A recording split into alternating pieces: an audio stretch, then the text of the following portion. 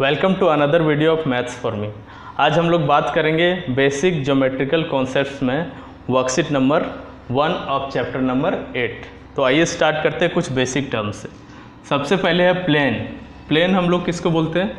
किसी एक flat surface को जिसको इंडलेसली ऑल डायरेक्शन में एक्सटेंड किया जा सकता है। जैसे ये बोर्ड है, ये एक प्लेन सरफेस है। और वॉल्स क्या हो गया? Pages of notebook plane surface हो गया, सरफेस ऑफ़ वॉल क्या हो गया? प्लेन सरफेस हो गया। आप जिस कॉपी में लिख रहे हैं, वो कॉपी का पेजेस क्या हो गया? प्लेन सरफेस हो गया।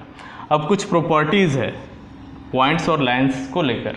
प्रॉपर्टी फ़र्स्ट है कि अनलिमिटेड लाइंस ड्रॉ किया जा सकता है एक पॉइंट से पास करने वाला।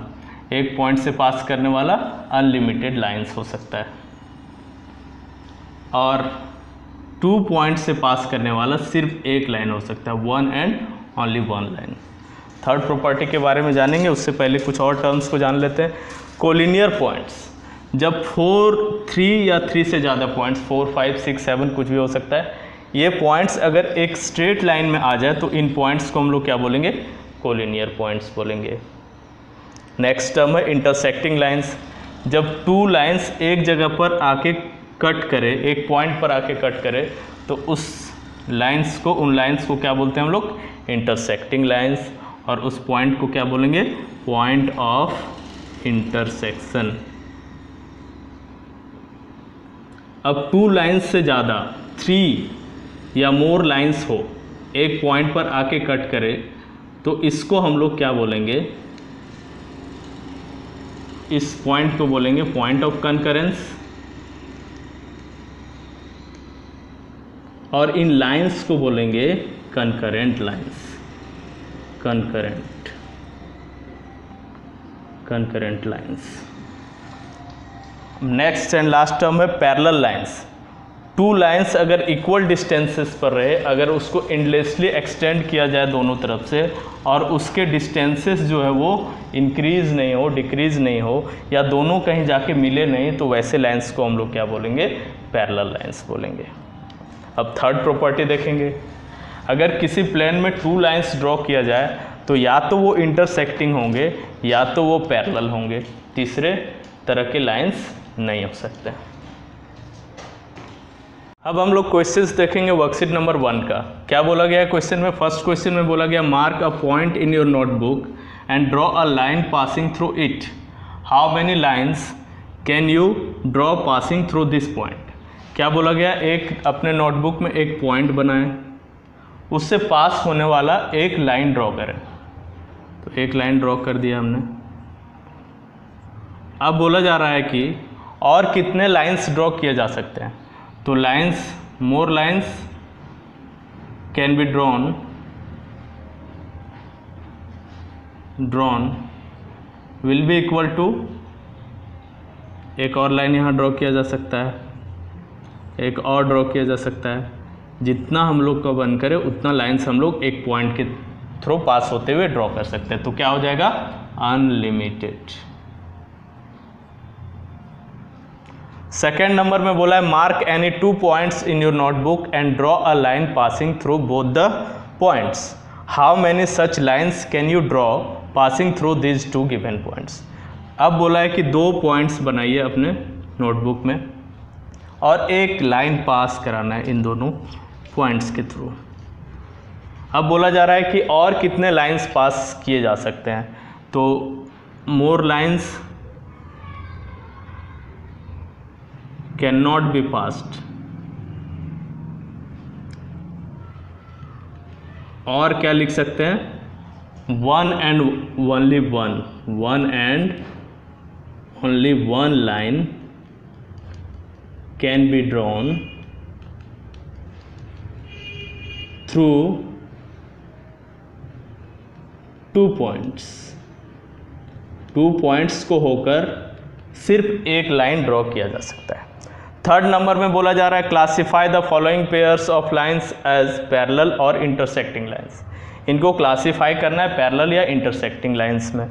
तो ए नंबर क्या हो जाएगा? इंटरसेक्ट कर रहा है किसी पॉइंट पर तो इंटरसेक्टिंग हो जाएगा। इंटरसेक्टिंग लाइन्स बी नंबर में कहीं भी इंटरसेक्ट नहीं कर रहा है, कहीं भी कॉमन पॉइंट पर मिल नहीं रहा है तो ये क्या होगा? पैरेलल लाइन होगा। सी नंबर में भी कहीं भी मिल नहीं रहा है तो ये भी क्या हो जाएगा? पैरेलल लाइंस ई नंबर में एक जगह पर पॉइंट पर कट कर रहा है तो ये कैसा लाइन हो गया? Intersecting lines intersecting lines E number में भी कहीं भी कट नहीं कर रहा है, कहीं भी मिल नहीं रहा है तो कैसा लाइन हो गया? पैरेलल लाइंस अब एफ़ नंबर एक इंटरेस्टिंग केस है, ये पैरेलल हो रहा है या नहीं हो रहा है, वो आपको कमेंट में लिख के बताना है. F number of three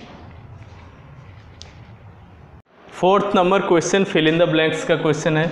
इसमें बोला जा रहा है कि ए नंबर में बोला जा रहा है an orange has a dash surface orange का कैसा सरफेस होता है? प्लेन नहीं होता है। कैसा होता है? कर्व्ड होता है। कर्व्ड हो जाएगा इसका answer B number a hundred rupee note has a dash surface hundred rupee note का सरफेस कैसा होगा? प्लेन होगा। Plane surface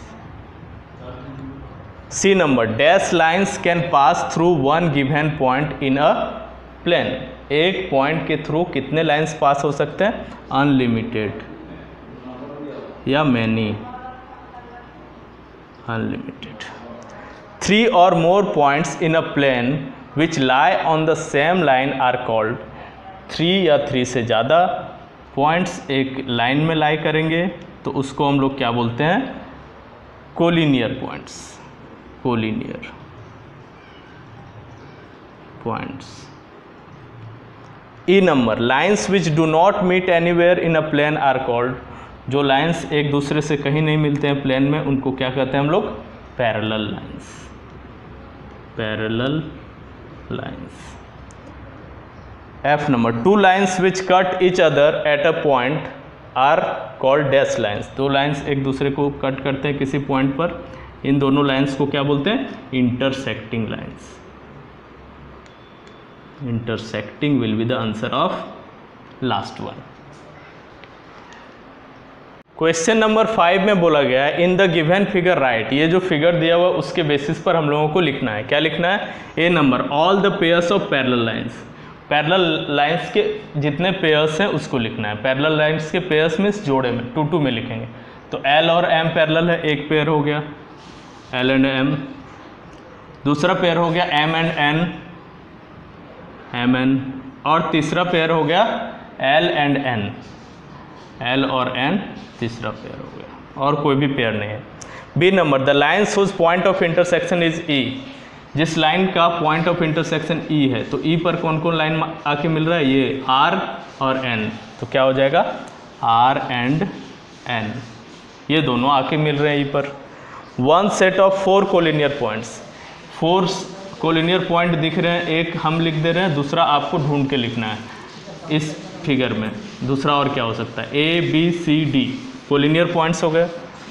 दूसरा सेट आप लिखेंगे। A B C and D दूसरा सेट को कमेंट में लिख के बताएँ। D number any four pairs of intersecting lines four pairs of intersecting lines बोल बताएँगे। तो डी पर इंटरसेक्ट कर रहा है। कौन कौन लाइन इंटरसेक्ट कर रहा है? टी आर टी आर एक पेयर हो गया। दूसरा पेयर ई e पर इंटरसेक्ट कर रहा है आर और एन तो आर एन दूसरा पेयर हो गया। और एफ़ पर इंटरसेक्ट कर रहा है एम और आर तो एम आर हो गया। इससे भी अधिक हो सकता है। फोर हम लोगों को लिखने के लिए बोला गया है। ए पॉइंट पर कौन कौन इंटरसेक्ट कर रहा है? एल और टी तो एल टी हो गया एक। और भी हो सकते हैं। अब ई e नंबर में बोला गया है the point of intersection of lines M and T M और टी एम यहाँ पर है टी यहाँ पर है. ये दोनों कहाँ पर आके मिल रहे हैं? बी पर मिल रहे हैं. तो क्या हो जाएगा answer?